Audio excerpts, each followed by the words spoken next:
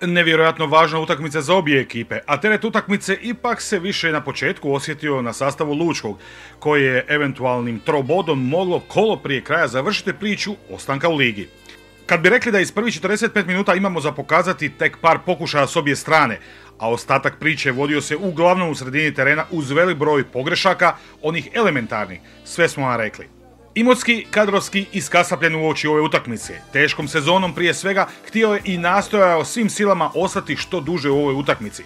I oni su imali svoju šansu i matematiku. No drugi 45 minuta ipak nešto ofenzivnija igra s obje strane. Dvije individualne kvalitete više na strani Lučkog donijele su dva vrlo važna pogotka i pad kamena sa srca onih koji vole bijele iz zapadnog dijela Zagreba. Najprije u 56. minuti lopta sretno došla do Baja koji je sjajno matirao vratara Imotskog. U nastavku drugog dijela bilo je prilika s obje strane. Imotski je krenuo u bank, Lučko pak orijentirano, strpljivo čekalo priliku iz kontranapada i dočekalo u 87. minuti točnije virtuoznost i genijalnost Nikole Raka, koji je sve napravio sam za pladan Janjišu i konačni rezultat Lučko Imotski 2-0. Mi smo imali cilj na, na početku polosezone ostati u ligi. I mislim da je to u ovom trenutku najbitnije. Evo, dogodilo se to da na domaćem terenu rješavamo pitanje ostanka. E, čestito bi svim dečkima, e, struci, trenerima, predsjednicima, svima, navijačima, gledateljima koji su nas pratili putem televizije, ali tako?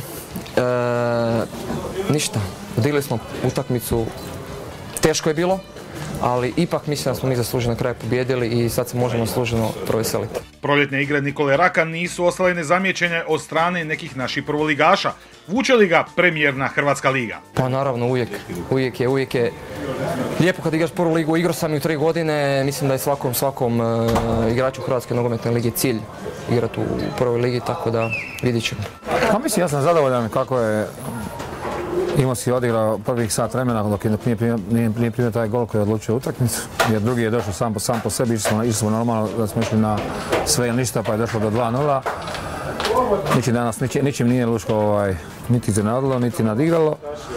Mi smo došli bez puno, puno standardnih igrača, znači to su ostale repovi od prošle utakmice, inače smo imali dosta, dosta peha tijekom svih ovih uh, utakmica proljeće.